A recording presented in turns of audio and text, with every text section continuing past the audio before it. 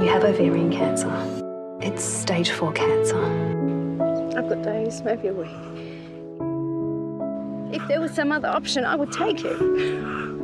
I would.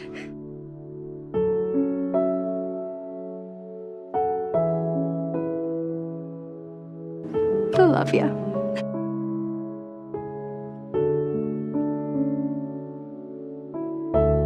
I was so broken.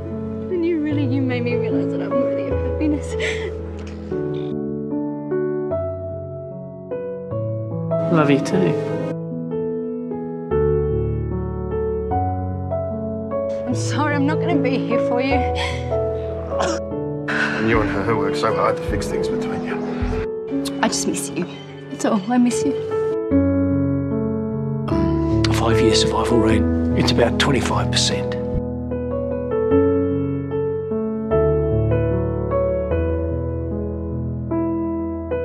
I should have realised that. She was infectiously fun and she always had time for you, you know, no matter who you were.